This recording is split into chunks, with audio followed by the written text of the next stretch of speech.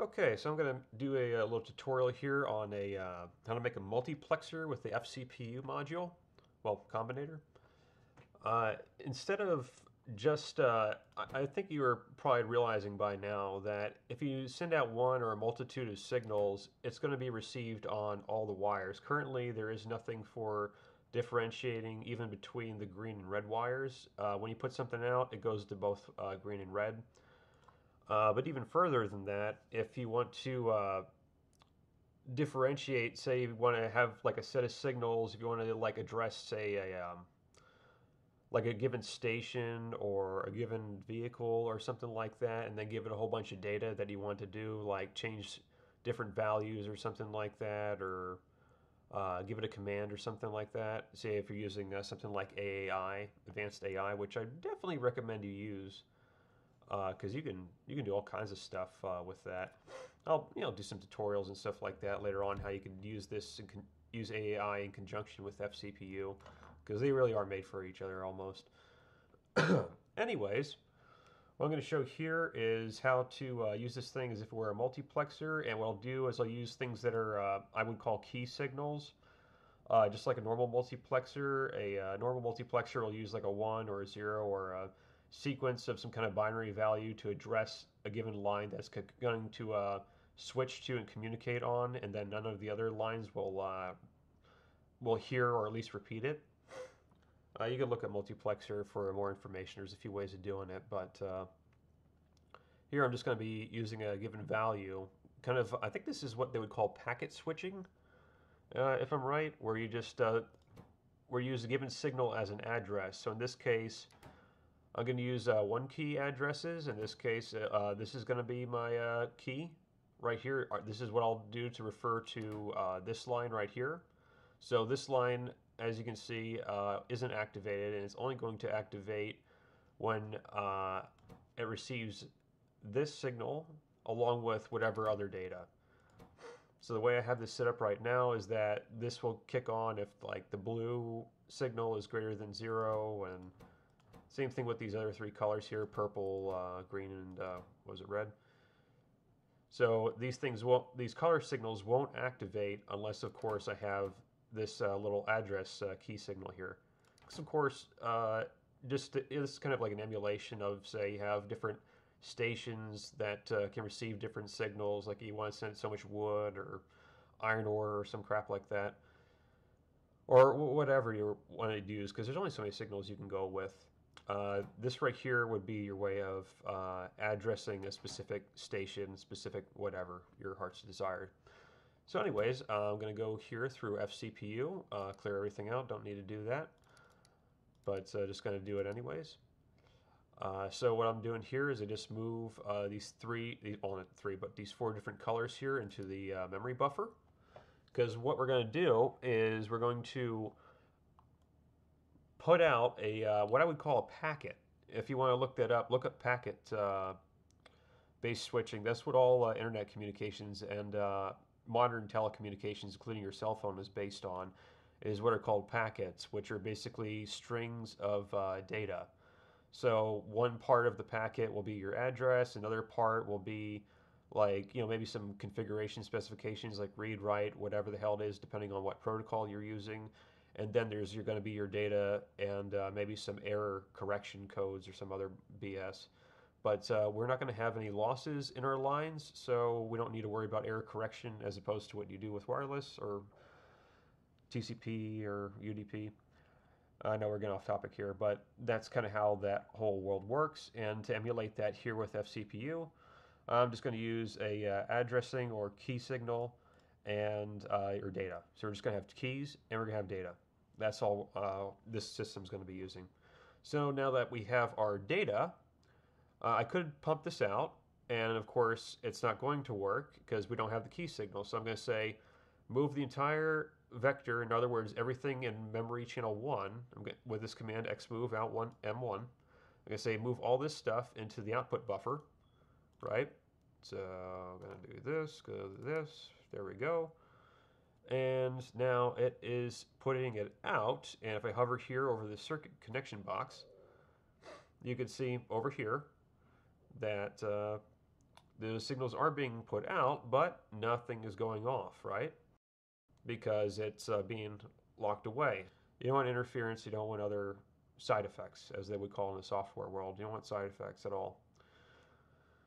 So now uh, we're going to create a uh, key signal, pop that into the uh, output right here, which is going to be read as a scalar value because it's a singular value. So X move is a vector-based one, and that'll only show up in your uh, scale your uh, scalar output buffer. And of course, your X move only puts it out into the vector outputs. Uh, output signals basically sums it all up. It, it combines everything in your everything in your scalar uh, buffer and everything in your vector buffer gets added up and sent out. And well, not yeah, it does get added up and sent out into your output signals. So if you're wondering what the difference between these three are, uh, this is whatever is individually uh, sent to the output buffer, like you saw right here. Or if I had like a whole list of stuff I would move out, it would still show up in scalar. Uh, I think I might cover this in memory. I'm not sure. If anything done with xmove, you know, anything from the uh, memories uh, units that you're pumping out, just all as vector. It shows up here in output vector. And output signals is just all the stuff getting sent out. In other words, what actually matters because whatever's being received is going to be here. I mean, you can send stuff over. I mean, this isn't the only thing being received uh, on the output. Yeah, the only thing these the output vector and scalar are for is just to help you with debugging. As far as the outside world is concerned, this is what it looks like, and this is all that it knows or cares about. So, yeah, just a quick little lesson. This is what is actually seen. This is right here is more or less for debugging to know exactly what the hell is being sent out via scalar commands or vector commands. Anyways, moving on. Uh, going to clear the output. Actually, to clear everything here. Clear the memory out too. Uh, anyways, what I'm going to do here is I'm going to show another signal and show that basically numerical values also count. That, you know, you could easily create these combination CT signals, you know, constant type of signal here. And uh, it will be read just the same uh, through your output wire. And that's all created there. Go to M1. So just create all this stuff here. Got the key, key signal and three data values pop that out and there we go. So what this is doing right now is this is reading this is uh, Santa's uh, Nixie tube uh, mod right here. Definitely recommend this one as well. As yeah this Santa's Nixie tubes and the uh, connection box I totally recommend this if you want to work with the circuit network. Anyways so there's 1523 units of petroleum gas that is being received here and showing up as a numerical value as well and because the B signal is in fact positive, it's going through. And yeah, I have my blue and my uh, yellow signal. Uh, the reason why it's all blue rather than blue and yellow is it has to do with um, the use colors thing here. So it says if multiple colors are present, only one of them will be used. Usually it's the last one that you throw out, so just keep that in mind. Yep, that is yeah, I, I, remember running this before here. Yeah, so usually the last color signal you send out is going to be the color that all the other lights pick up on, even if you have multiple color signals. Okay, so welcome to the uh, next part of this uh, tutorial here, where I'm going to be going through uh, a few things. Uh, main one is going to be like just uh, how to use this thing as a remote switch, how to use the FCPU for that.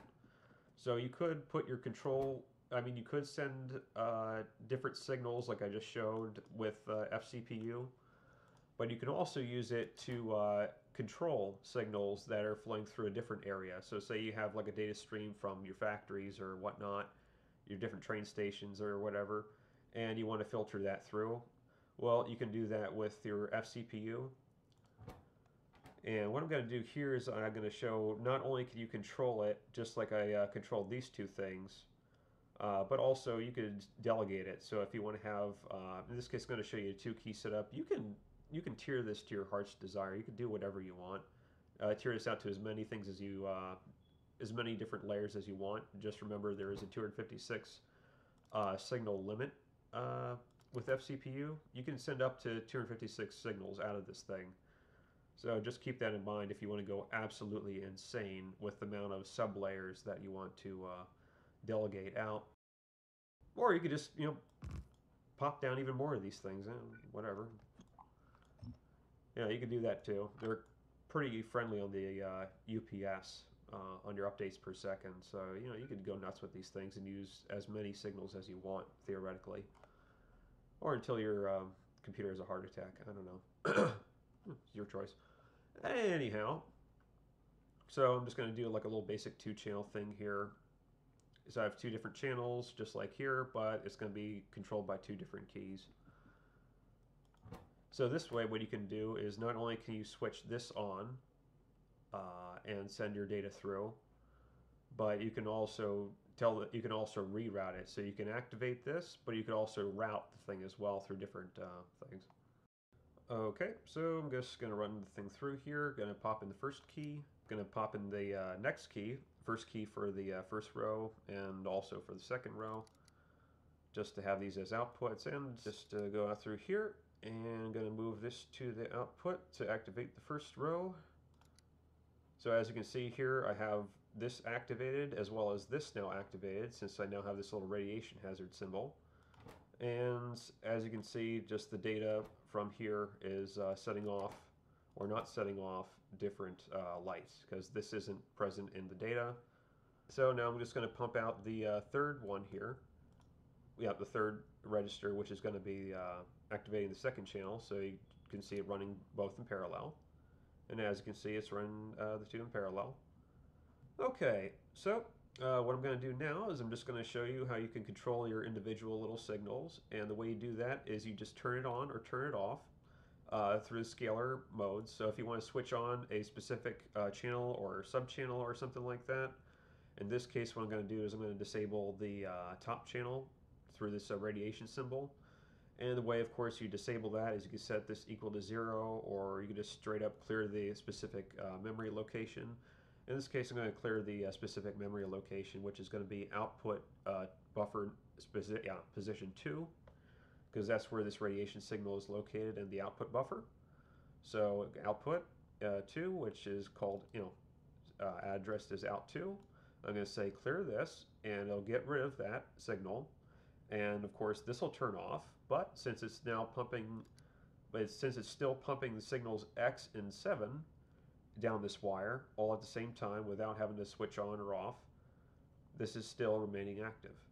So I can turn things on, I can turn stuff off, right? You can individually tell uh, different lines to turn on or turn off. Nothing has to reset, nothing has to go weird or whatever.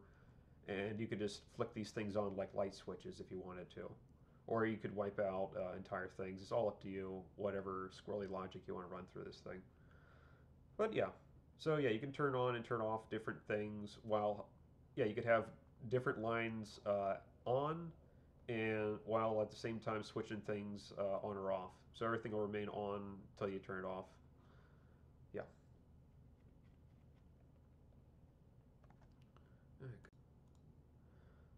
Okay, so uh, that concludes the uh, end of this little tutorial for the Muxer uh, circuit. Uh, if you look in the description, in addition to the chapters, because I put chapters in my videos, uh, in case you didn't notice, for some reason YouTube is not showing the chapters in the timeline, so it's not uh, super easy to navigate just yet. I guess because I'm not like a partner channel or something, it doesn't give me a priority in putting those chapters in, even though in the description the chapters to each video are listed.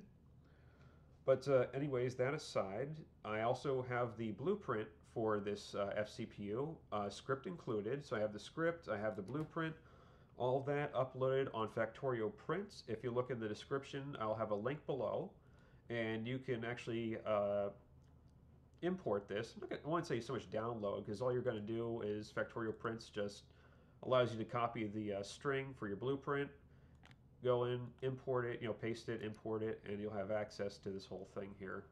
Uh, just remember that this thing uses, of course, FCPU as a mod, and it also uses uh, Santa's Nixie tube. You, you, don't need this. I mean, if you import this blueprint without Santa's Nixie tube, it'll just delete these two. But uh, it also uses the uh, connection boxes, which I do highly recommend just in general for screwing around with circuits because you can reroute things without to play without having to play with uh, power poles. These are very useful to uh, work with. But like I said, just with the same thing with the Nixie tubes. If you don't have this mod installed for your connection boxes, no worries. It's just going to disconnect, you know, um, pretty much just the Nixie tubes from the looks of it. Yeah, because I have a separate wire here going to these uh, lights. Yeah, the connection boxes here are more or less just to keep the wires from draping over the lights when they're activated. So it's not blocking the view of the lights. Anyways, uh, yeah. So uh, let me know if you have any questions or comments about using this little setup, whether it's uh, use this thing as a remote switch or just directly turning on, turning off different uh, combinators or different sections of your base, whatever you want to do. Here as a little uh, switcher or multiplexer. And also if you have any ideas for how to mess around with this thing. I'm always into uh, things like different switching logics, uh, switching fabric, stuff like that as well as analog computing. Those are the two things I really like to mess around with is reconfiguration and analog computing. Okay, so I uh, hope you have a good day. I hope you have learned something.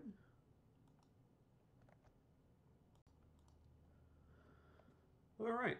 Well, uh, thank you for watching, and uh, see you next time.